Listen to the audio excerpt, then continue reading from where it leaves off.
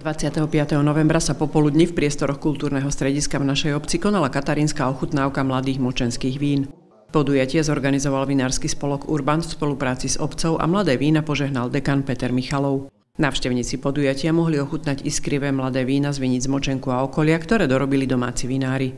Je to v podstate tradícia, ktorá bola na Slovensku vždy a držala sa tu a e, chceme ju nejakým spôsobom obnoviť. V Lani sme mali taký prvý ročník, teraz robíme druhý ročník a myslím si, že má to takú stúpajúcu tendenciu a tešíme sa z toho, že prišli ľudia a podporili nás, že to nerobíme, tie vína a tá, tú prácu okolo vinohradov a týchto akcií zbytočne. Tento rok bol veľmi špecifický, bol poznačený ťažkými chorobami. Už vo Vinohrade v máji nám to ťažko napadla perenospora, potom neskôr e, v júli zase múčnatka.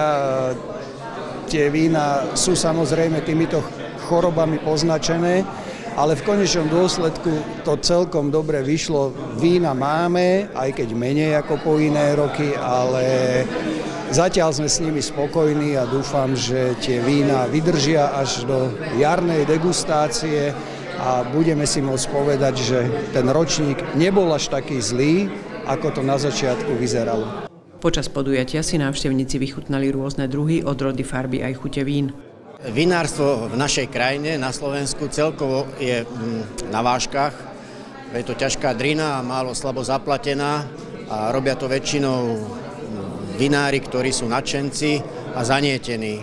Mm, celkovo v Močenku robiť víno je to pre starších, by som povedal, mladšia generácia sa v tom ešte nenašla, ale väčšinou, keď príde ten 45-50 rok života, tá generácia sa v tom nájde, takže e, by som to nezavrhoval, ale tá budúcnosť vinárstva Močenku určite je teraz pekná, ale ešte, ešte bude zveladená, tak by som to povedal. Rok bol, eh, čo sa týka počasia, ideálny.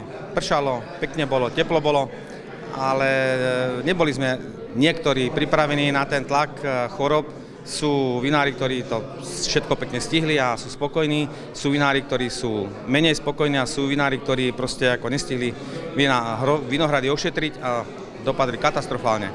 Čo sa týka vína, je to vždycky také, aké to je, lebo iné to nebude len také, aké to je. No a čo sa týka spolku a tejto, tohoto druhého ročníka Katarínskej posviacky, myslím, že môžeme byť spokojní.